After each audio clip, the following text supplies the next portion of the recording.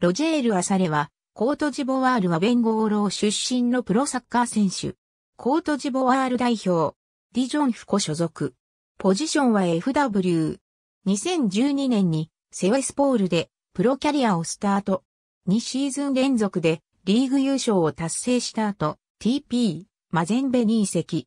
マゼンベでは、カフチャンピオンズリーグ2015優勝など多くの成功を収めた。2017年2月10日より BSC ヤングボーイズにレンタルで加入し、7月に完全移籍。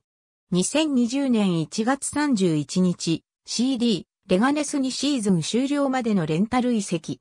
2019から20シーズン最終戦のレアル・マドリード戦では1から2の場面から同点ゴールを決めるも、試合は2から2で終わり、2部降格が決定した。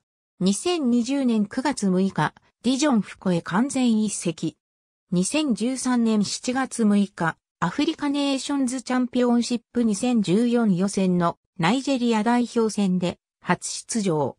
チームは4から1で勝利したが、アサレは同試合で退場処分を受けた。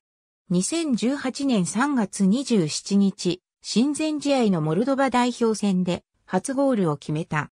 主要大会では、アフリカネーションズカップの2015年大会と2019大会で招集されたが、いずれも試合には出場していない。ありがとうございます。